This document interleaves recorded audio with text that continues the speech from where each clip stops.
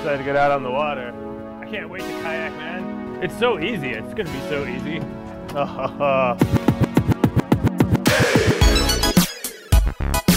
yeah, throw it in the water.